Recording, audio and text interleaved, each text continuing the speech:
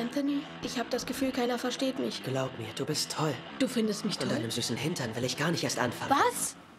Was? Du bist so nervig. Du machst einen fertig. Geht's noch? Hast du ein Problem oder was? Für Alexander könnte es nicht schlimmer werden. Elliot hat Fotos von mir im Tanga an jeden in unserer Schule geschickt. Hübsche Möpse, Alexander. Du verbrennst meine Notizen. Aber ein Tag kann alles ändern. Müsst ihr nicht längst aufstehen? Hat einer von euch eine Ahnung, wo die Windeln sind? Ich komme jetzt rein, Schatz. Mama!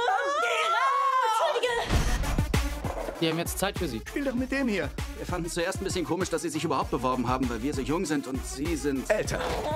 Sein Gesicht ist ganz grün. Es ist nicht giftig. Ich hoffe, es ist nicht giftig. Ich nehme deine Fahrprüfung ab. Ach, meine Freundin, es geht bestimmt um den Schulball, aber ich würde ja nie beim Fahren telefonieren. Schulbälle sind nicht jeden Tag. Hey, Celia. Bist du irre? Telefon runter, sofort! Sie haben mich reingelegt! Steig aus!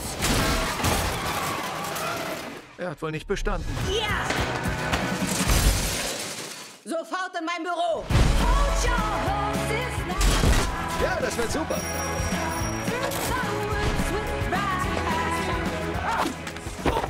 Das war echt gut.